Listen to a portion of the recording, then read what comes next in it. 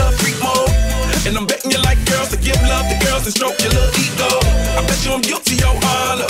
That's just how we live in my genre.